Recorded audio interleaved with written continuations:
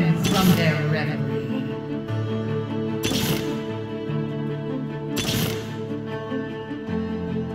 Where to, Book?